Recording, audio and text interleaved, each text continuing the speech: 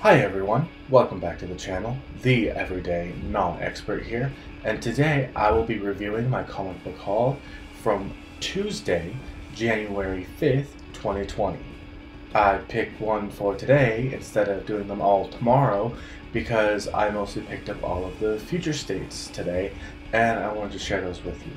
So feel free to like, subscribe, click the notification bell, and let's get started.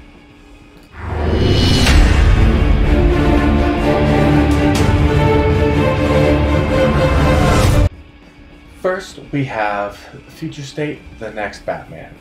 This is going to feature Lucius Fox's son, Tim Fox, as the Batman. And here is cover A and cover B.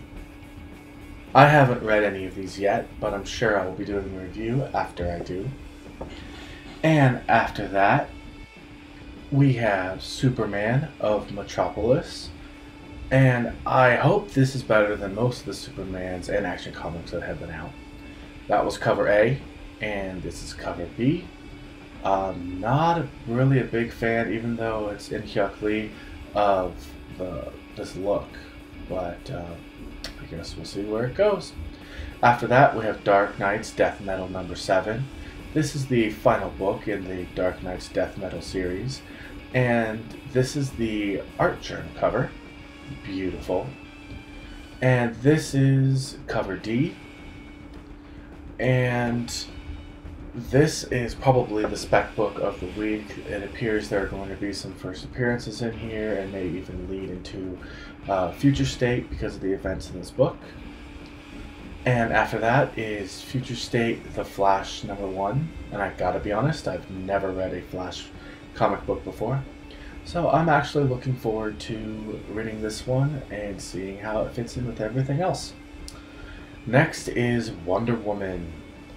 Uh, this one is really exciting. It's a new Wonder Woman, uh. I believe she's Brazilian. Forgive me if I'm mistaken. That's cover A. And cover B is Jenny Frison. I talked about how much I love her art in the past. So I'm just gonna kind of let this one drag out so that you can just marvel in the beauty of this cover. And that is my comic book haul for today. Again, it's day early because DC releases their comics on Tuesdays instead of Wednesdays with everybody else. Um, and then tomorrow I will be doing my uh, comic book haul review for the rest of the books, and I may even be doing some reviews of some of these future state books. Alright, well, thanks for checking out this quick video. Again, if you liked it, please like, it really helps me out.